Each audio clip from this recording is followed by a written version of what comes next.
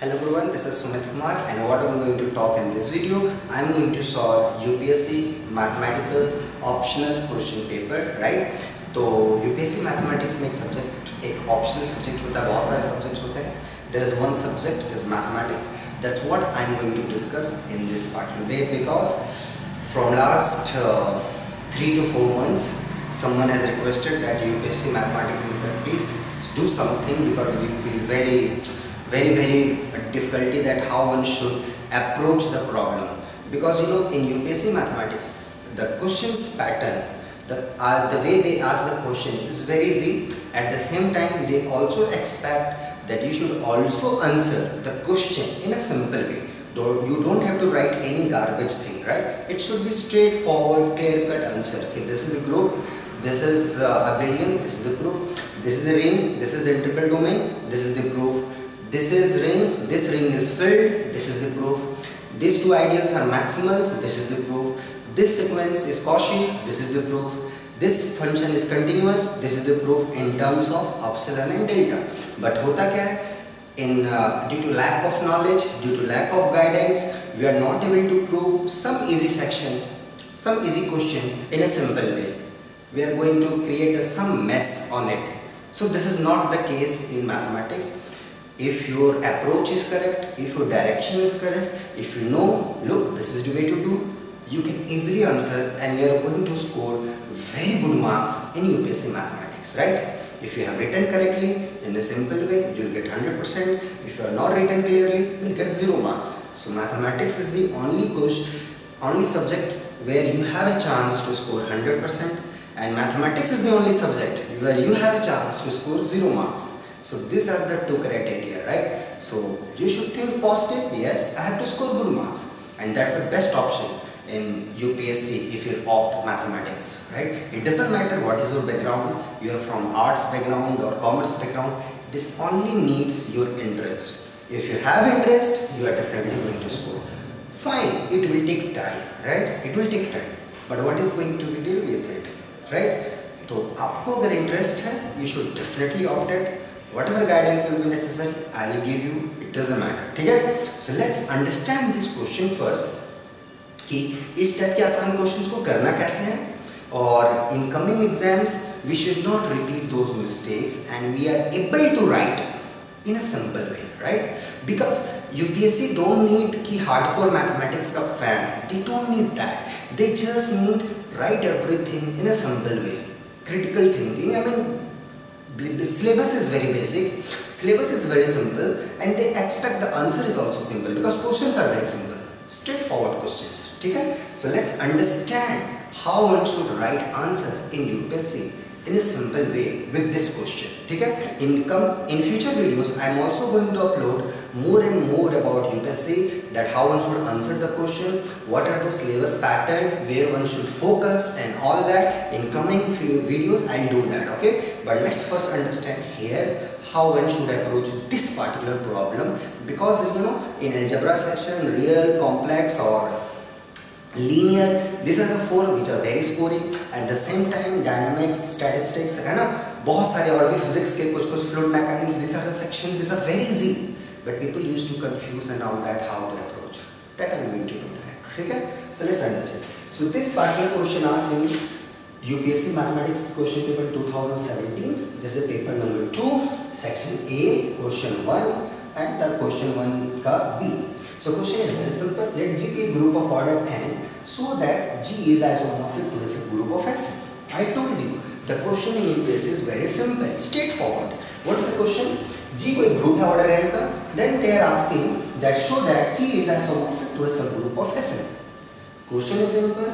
They expect you should also write the answer in a simple way, right? Let's understand this. So I always start how to think this kind of problem what is the approach to do this kind of problem? You know, everyone knows that. Everyone knows that, okay, this is the, uh, I know this result. But sometimes they stuck that right in a simple proof. Let me write that. ठीक है ना तो पहला what you have to do what you have to do what they expect you have to find a subgroup किसका subgroup Sn का such that G is isomorphic to where order of G is equal to M. That's what they are asking, right? First of all, you should understand that uh, what we have to do in the exam. This is the thing we have to do. We have to find a subgroup of Sn such that G is going to be isomorphic to H. What is G? G is a group of order n. That's all. So how one should do this kind of problem, right? आगे देखते हैं पहले G को आप list करो let G be this group ठीक है? Now for a for a belongs to G define by a mapping from G to G by कैसा डेफिनेशन है? Phi x is equal to a x ठीक है? Define this map so claim what is our claim that phi a is 1 1 and onto just prove that this is 1 1 onto this just need 1 1 के कुछ नहीं phi a is 1 1 what is the proof that phi a is 1 1 phi a of x1 equal to phi of a x2 that implies a of x1 equal to a of x2 that implies x1 is equal to x2 what is that by left cancellation law what is how this came here by left cancellation law that's what you do so phi is 1 1 phi a is on to what is the proof? Take any element from this. So you have to prove this map is onto what you have to do? Pick any element b from z belongs to G. That implies this A inverse B also belongs to G because G is a group. A belongs to G, B belongs to G, G should be closed with respect to inverse and multiplication and all that. So this and define this element X therefore phi of Ax is nothing but Ax by definition and this is A inverse B and that's nothing but this. So phi is on 2. So hence the claim. So my claim was that phi is 1 1 on 2 forward. This is 1 1 and on 2, right? So given group with this element, I am able to construct a function from z to g which is 1 1 and on 2. Now what you have to do is now consider this set Sg. What is Sg? Sg is nothing but the collection of all all bijections from z to z. Correct? Consider the collection of all bijections from Z to Z. Clearly, this is a group. Clearly, Sg is a group. Under what operation? Under composition of functions.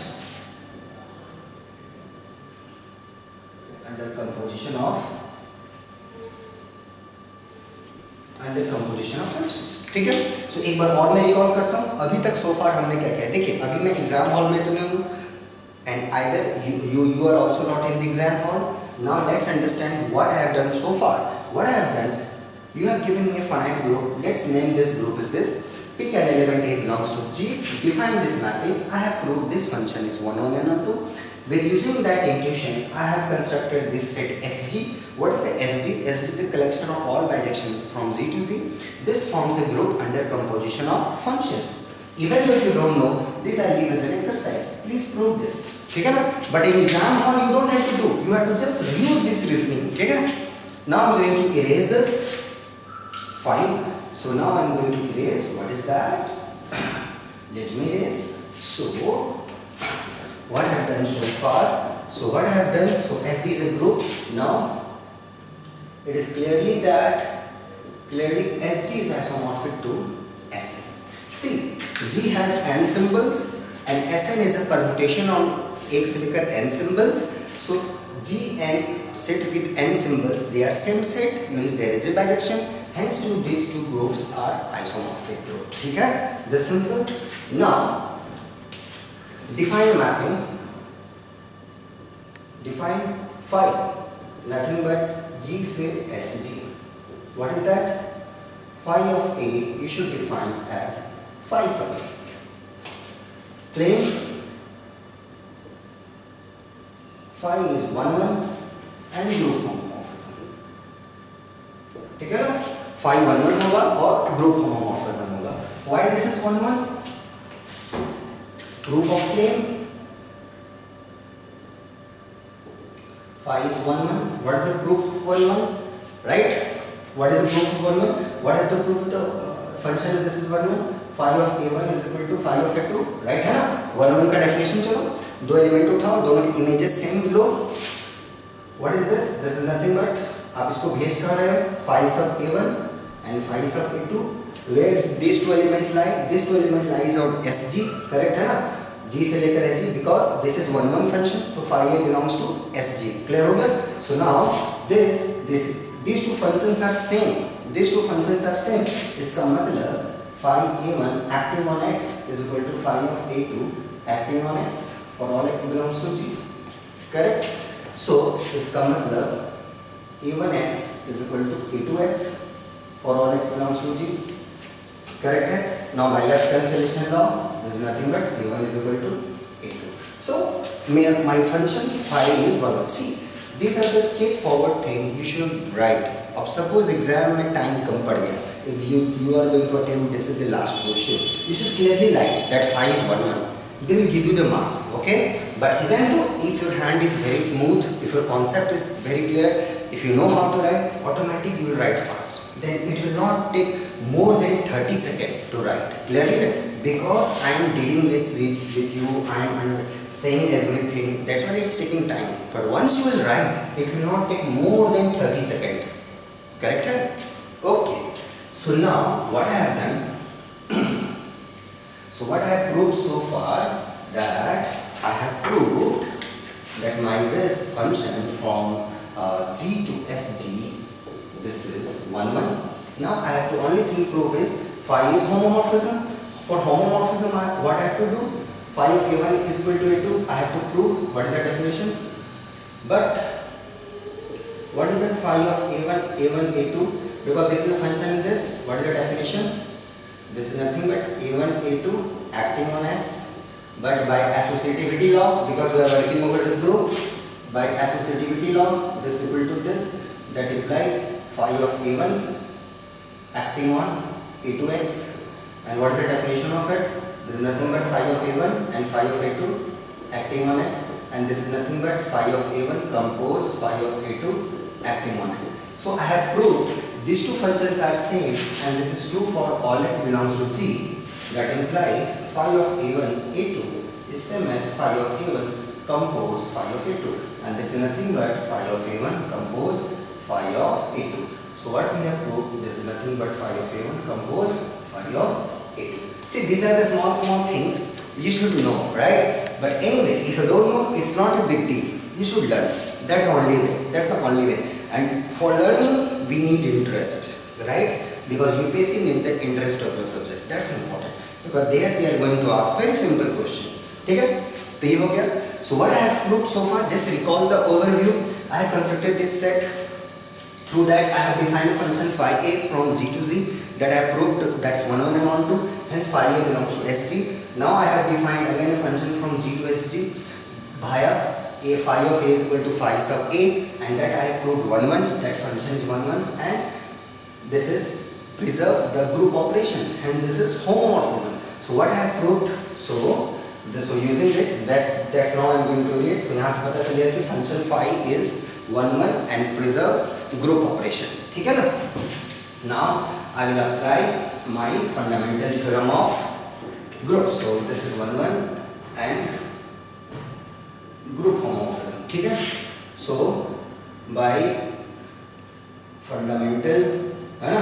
So by fundamental theorem of group homomorphism ठीक है?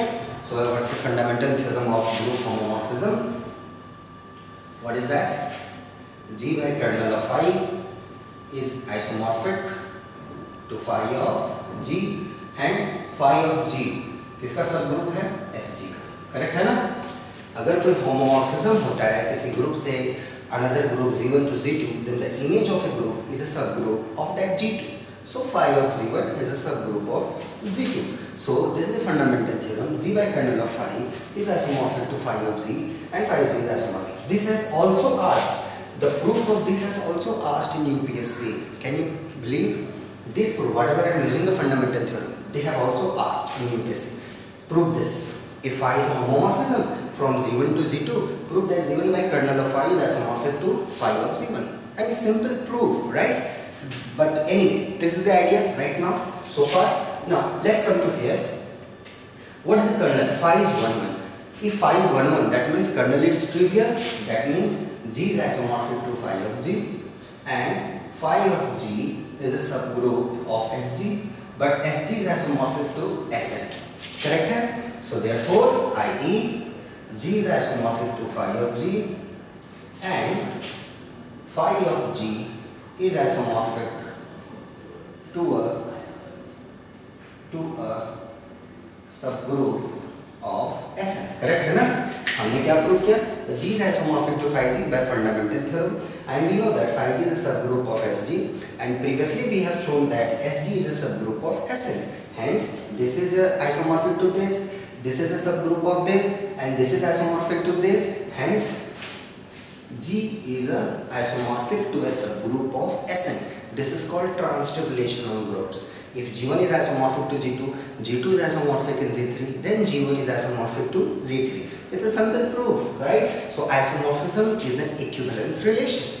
Hence, my G is isomorphic to a subgroup of S N correct है ना और वो मेरा जो subgroup whatever I demanding my H यहाँ में डिमांड क्या चाहिए था H subgroup of S that's nothing but phi G because phi g is a subgroup of sg sg is isomorphic to sn hence phi g must have a representative in sn let's call it h so g is isomorphic to that h hence g is isomorphic to a subgroup of sn that's the ठीक है might it takes uh, for me I, I think 10 or 15 minutes doesn't matter but once you will write if everything is crystal clear it will not take more than 3 to 4 minutes trust me even though less lesser than that time you will able to write because I have to explain to you that's why it is taking less time but once you will write by your own because in exam you don't have to explain you just have to write it will not take